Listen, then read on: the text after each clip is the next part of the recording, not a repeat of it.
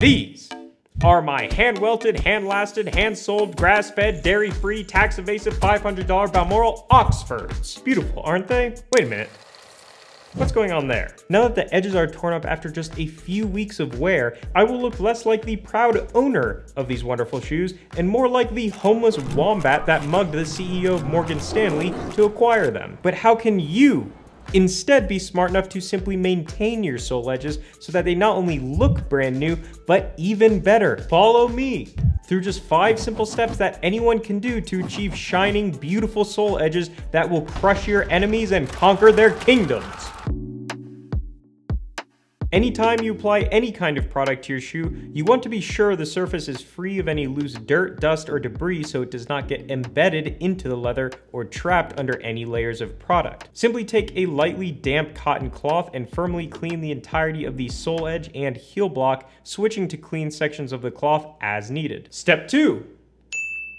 Now, we need to restore the color to the edge. And for this, you'll need leather dye. Fiebing's is great and only about 10 bucks on Amazon. You can use just about anything to apply leather dye, though I like to use these little daubers I got for a couple bucks at a fabric store. This will stain anything and everything almost permanently, so be cognizant of your table, clothing, and the shoe itself. Here's my setup. I like to use a small glass into which I squeeze a little bit of dye using the dauber like a sponge. This gives me A, a small yet stable container with just enough dye as opposed to an open bottle asking to be knocked over and destroy everything. B, control over how much dye I am applying as I can squeeze out dye from the dauber by pressing it against the sides of the glass. And C, a place to leave the dauber when not actively in use. And don't worry about the glass, I'll show you how to clean it later. I like to have a few paper towels handy just for safety, but that is basically it. When opening an existing container of leather dye,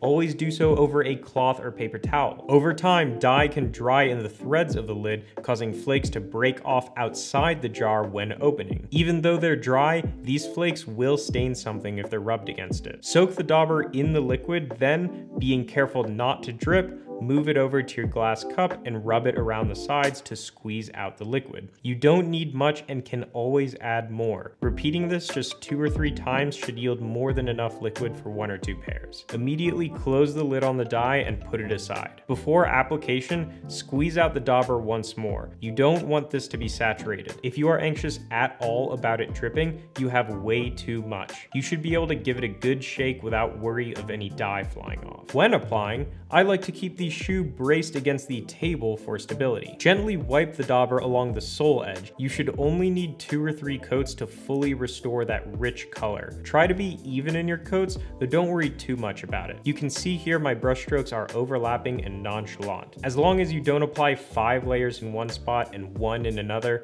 the difference won't be noticeable. While I'm at it, I like to flip the shoe upside down and do the underside edge as well, just to extend that color a little further. You can also dye the heel block in the same way. Don't worry about getting dye on the rubber top lift. In my experience, this doesn't cause any problems. And that's it for dyeing. To clean up, use a folded up paper towel to squeeze out the dauber of any excess dye, then leave it out overnight to fully dry before storing. As for the glass cup, simply rinse with isopropyl alcohol until clean. This will get it 90% there, though if you wanted to fully clean it, fill it with alcohol to soak overnight. As for the shoes, they may be dry to the touch, but are not dry fully, and the color will still bleed on anything they come in contact with. Put them on a paper towel to dry overnight in the open before proceeding. Okay, that's it for the hardest part. Now we're on to the fun stuff.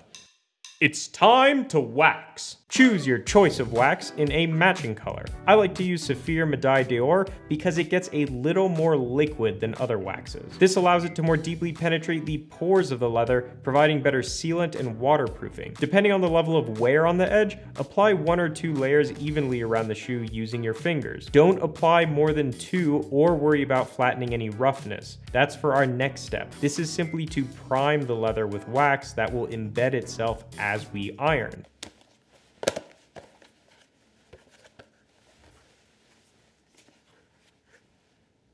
Which is our next step. Allow the shoes to dry for a few minutes, then use this. This is a sole edge iron. This is based off an actual tool cordwainers use for this very purpose, though those tools tend to be more expensive and require more skill to use. This is a more consumer-friendly riff on the tool made by Paul Brungard, a Swedish shoe care company. It's simple, it's easy to use, you can probably figure it out on your own, but here's a few tips. If your iron is new, first rub a layer of wax on it just to seal, smooth, and lubricate the wood. I like to start by addressing the corner of the sole edge. Couch that corner into the corresponding groove of the iron, and with firm pressure, ride the tool up and down along the edge. You'll notice immediately this compresses, rounds, and restores the edge of the leather. Next, angle the tool upwards so it's pressed against the flat of the edge and do the same. Because sole edges will vary in their size and angle from shoe to shoe, it won't always work out perfectly that the iron will cover the entire edge while couched in that groove. You may need to choke down on the tool to get full coverage. As far as pressure goes, think about it in levels. You can start off pretty firm, but just do a good once over first. Then you can get progressively more intense. And remember, this stuff is hard, dry leather. You will need to press much harder than you think you do to get that full compression. Don't be afraid to do so. You can only kind of treat the heel block with this tool, though that's not a huge deal as most of the deterioration will be on the edge itself. And if you have very pointed round toe shoes that are hard to get with this end, you can use the other end made for this exact reason. Lastly, you'll notice this process doesn't feel very smooth and the edge won't look pretty. It's normal to feel a lot of drag when you're applying proper force with the iron and it'll leave some streaking on the edge, but don't worry about this, we'll clean it up in the last step. Your main focus here is on physically flattening that edge and compressing the leather as much as possible, regardless of how it looks. Now we shine. This is not just the last step, but also the fun part. Apply one or two layers of wax and give it a couple minutes to dry, just like before. From here, you have two options. You could very simply and easily brush the whole edge firmly with a horsehair brush, which will produce a soft shine that will be the same as, if not better, than brand new. Or, if you wanted a real mirror shine, you could, well, mirror shine it. Using a soft cotton cloth, wax, and cold water, you can mirror shine your sole edge and heel block the same way as you would your toe cap. You may not be able to get the perfect glassy surface, or glissage, as it's referred to, that you can on your toe, but you will be able to get it notably reflective.